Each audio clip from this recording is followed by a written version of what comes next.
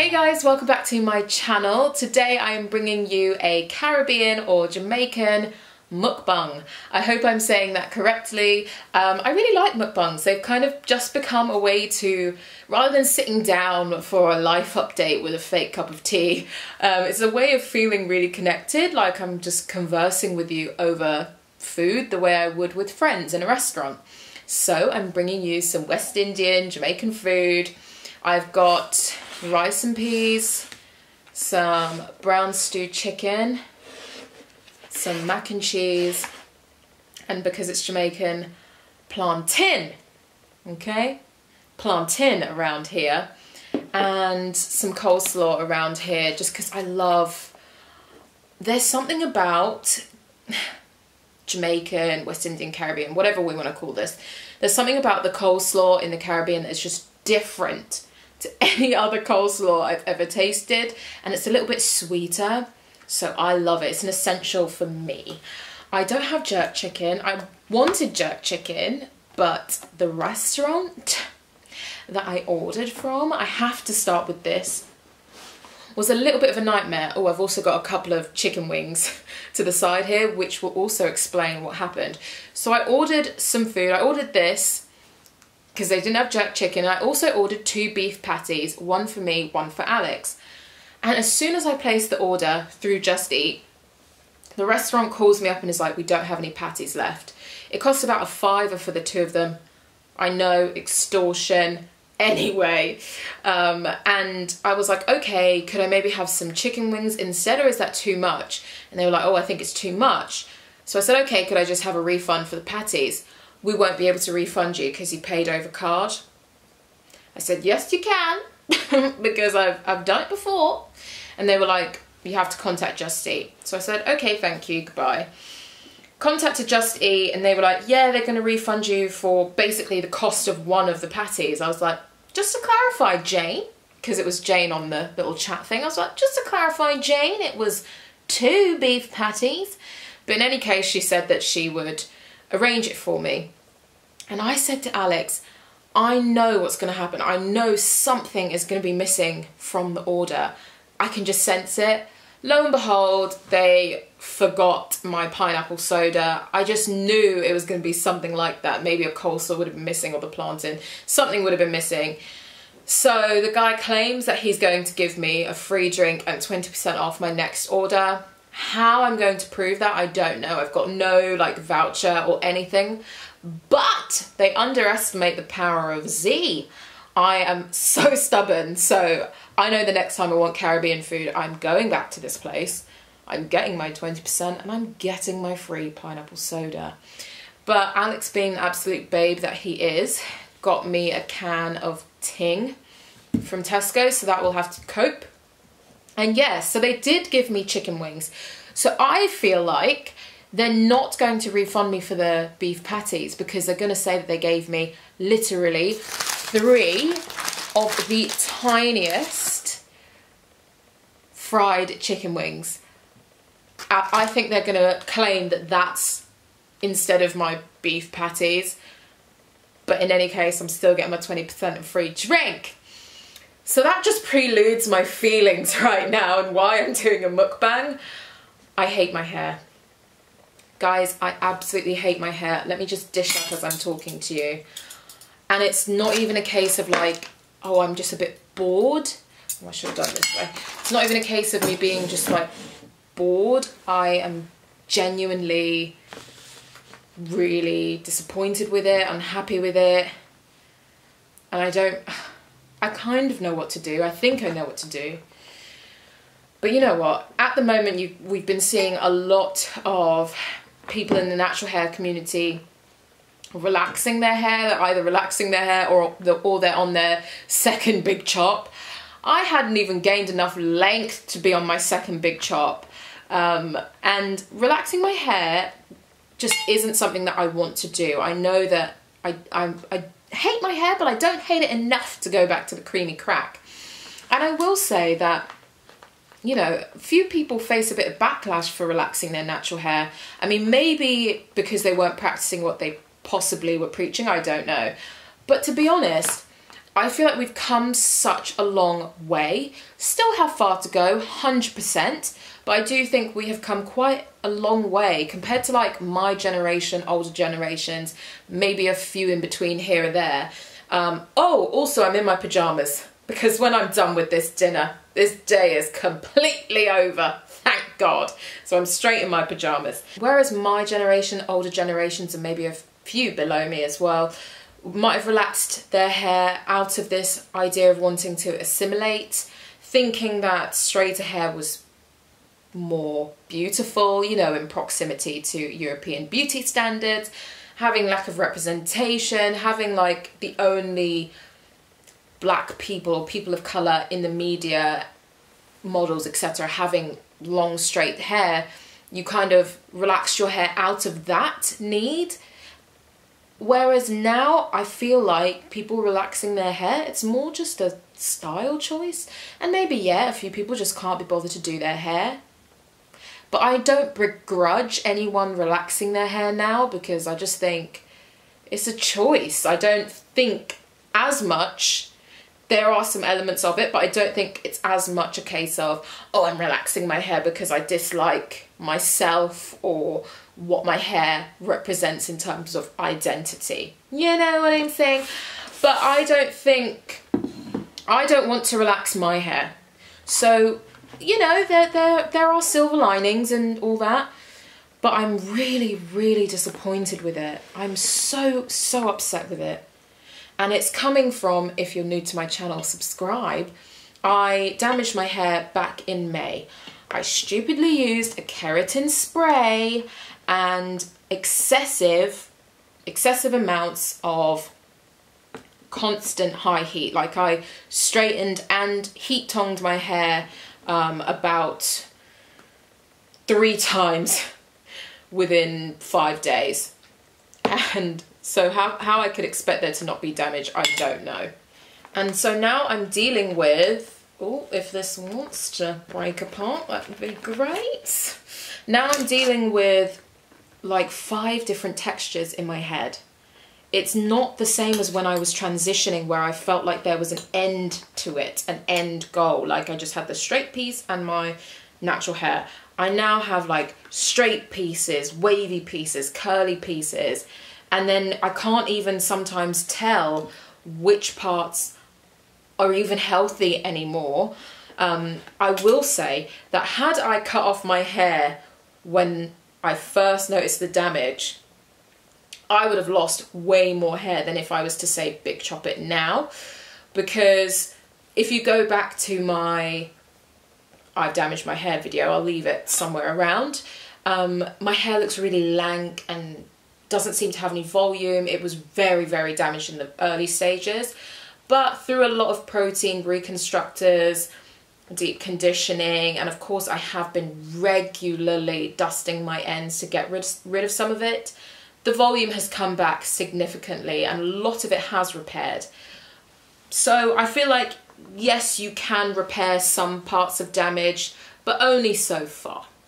So I'm now left with what is completely permanent, unchangeable, dead pieces, dead pieces of hair.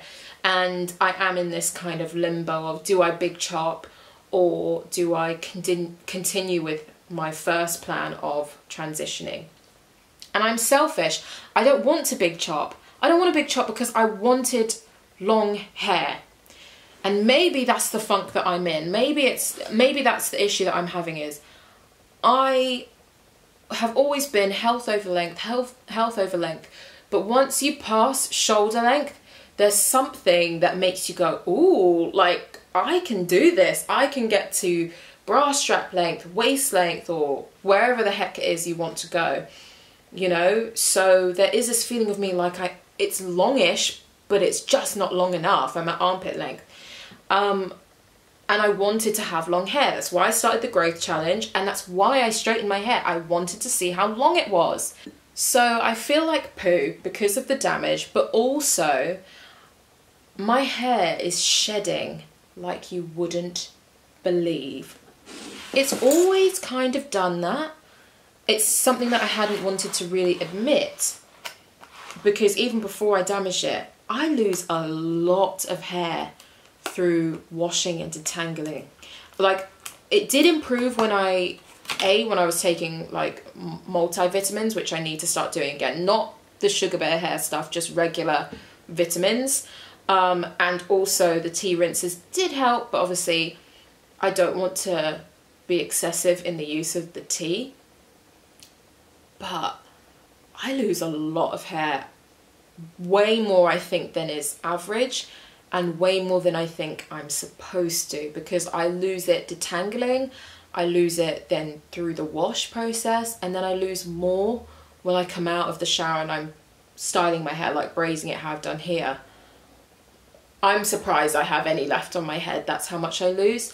And yes, some of it now might be um, attributed to my damage, but I wonder if some of it is also in relation to terminal length. Maybe I need to face some facts here. Maybe my hair is just not meant to grow long. Do you see all these like like things that I'm just battling with in my head? Maybe my hair's not meant to be long.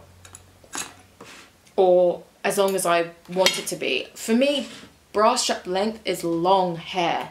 At the moment, I feel like I've just got mid-length hair at armpit length hair. Um, I'm not I'm not aiming for waist length or any of that. That was never in my eyesight, but I thought I could make it to BSL and that would be long for me and I would be really happy with that. Um, but I'm wondering if maybe that terminal length is a thing and maybe my terminal length is armpit length because I really have plateaued here in the last year or so. And that would also explain the shedding because maybe it's just shedding because it's done growing. There's no more else there's nowhere else it can go. So it's just dropping out because it's proper sheds. It's not broken pieces which i'm surprised um, it's full on sheds with the bulb and i'm like whoa i know for sure i need to get back on my vitamins and i wanted remember to do that video on the vitamin that helps your hair grow and I still do, but I had actually stopped taking it. So I'm going to start that up again and I really do hope that that helps um, with the shedding and just general health of my hair. I've also been exercising. That's why I know traditional mukbangs are like masses of food, but I'm trying to watch my figure.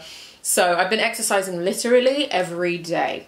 Every day, some form of exercise to keep me active, especially because I work an office job where I'm sitting down all day. So I'm hoping all of this will help improve my hair. And yeah, there's a few things that I feel like are putting me on the right track. But I know that as well as being stubborn, I'm incredibly impatient.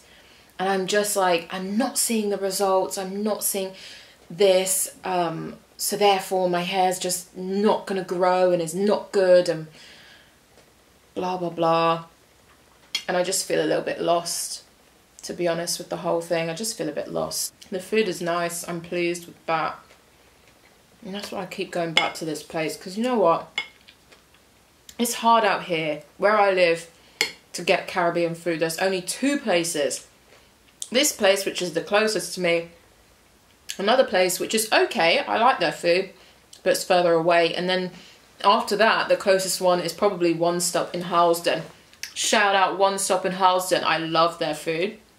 And then the only one, as in within proximity to me, but even One Stop is about an hour and a half away from me.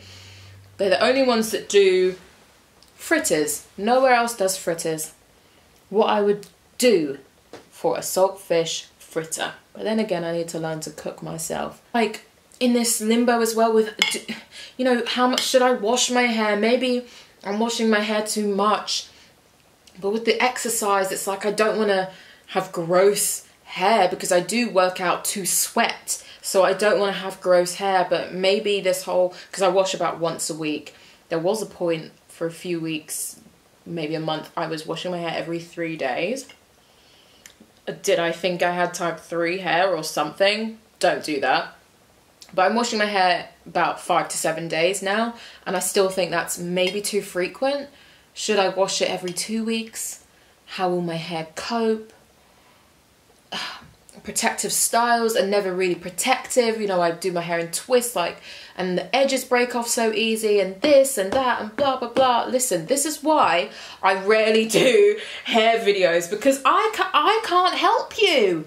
I can only help you just about, like just about. I'm not good at braiding. I'm not very good at styling. So what else can I really do as apart from regimen videos? But it's like I've forgotten what I used to do because when I first went natural, my hair grew very quickly and maintained all of its length in the first year, two years. But after that, I really, really struggled. But it did grow, it definitely did. When I look at my old videos, my hair has grown a lot. But as I say, in this past year, it's just completely plateaued, and I feel like it's because I just can't retain anything and that's even before damaging my hair earlier in May. I'm gonna just open this tin. Also to do with my acting, if you didn't know, I've always wanted to be an actor. It's what I studied, you know, I studied drama and theatre arts at uni. I then did an acting course. I did a few short films and things. Then I gave it up and now I've been fortunate enough to be in a position where I can go back to it. So I've gone back to it to really pursue it this time. And this time, you know, when I was first starting out in my acting career, so to speak, I had relaxed hair. I only just recently got new headshots done in June. And there's something as well about me and this acting. I'm feeling so conflicted. I'm feeling so lost. I'm feeling like I'm not really oh, this sounds so stupid to say, but I feel like I'm like not special. Like I feel like who the hell am I? Like who's gonna even want me to I had a reading for an agency. They said no.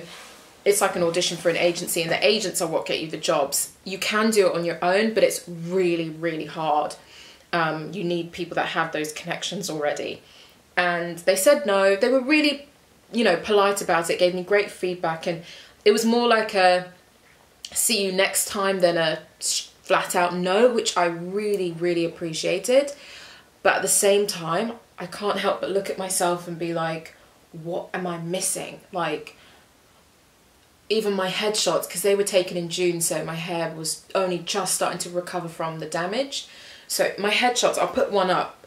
My hair looks a little bit curlier. Oh, like this just sounds so stupid, but I just feel like even the definition of afro hair is so difficult.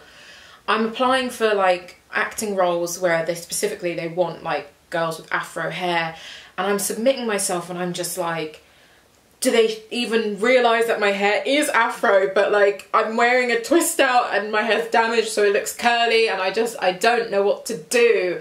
I know that sounds ridiculous but that is just how I currently feel. Like I feel like I don't I just don't know. I feel like maybe that's what it is people. I feel like I'm losing my identity. I think that's what it is. Because when I when I cut my hair, there was a part of me that really felt like I was embracing who I was and starting to become myself. And because I fudged it up for myself, I feel like I don't even know who the hell I am anymore, which is just stupid. India.Arie said, I am not my hair. It didn't matter if you wore a relaxer or a jerry curl or natural hair because it's about you and not your hair. And I've put too much pressure on myself and too much focus into my hair and now I don't know what to do. This is good. That is bloody good. That's the reason why I'm having to exercise though because fizzy drinks, oh, they just hit a spot for me, you know? So I hate my hair. I hate my hair, but I can't just end this video saying I hate my hair and, and just give up like that because that is how I am. We've come to learn I'm stubborn, I'm impatient, but I also have, I'm also insecure as hell. Like I just don't trust myself enough to do things because I'm so scared of failing and I'm not going to end this video by just saying I hate my hair, I give up, like I don't want to do that. Maybe when I get to December, I'll do a really nice, hefty mini chop, we'll call it a mini chop. I do want to retain some of my length. And you know what? I really, really want to go to a salon. I haven't been to a hairdresser in five years to do my hair. I've been to a stylist to braid my hair, as in literally just braid it, but to have somebody else wash, condition, assess, and trim my hair, I think is what I really, really need. Um, I think that might be my first step. Then really formulate a solid regimen and be patient and stick to it. I hate my hair, but I don't hate it enough to give up on it just yet. It looks like I haven't eaten anything. I promise you I've eaten some. I just don't like the idea of like chewing like on camera, like, you know? If you have any tips or tricks on damaged hair, what you did for it, I'm all ears. I genuinely am. Or generally, if you are just feeling the same as me, please comment down below because I need to feel like I'm not alone on this. And the funny thing is I'm actually wearing it out more because you'd think I'd hide it away because I've got wigs and stuff, but actually I've just been wearing it out more and I think it's because I keep trying things. I want it to be right. I want it to do what I want it to do and I want to wake up and it's amazing. It's been about half an hour now of chatting. I need to actually properly eat my food. Thank you guys so much for watching and I will see you on the next positive video. We might have a few more chatty videos as I'm developing what I need to do. So I hope you'll stick around. Um, I make videos three times a week. So if you've made it to the end of this video and you're new, please do subscribe and I will see you on the next one. Bye. Look how massive my hands look. Bye.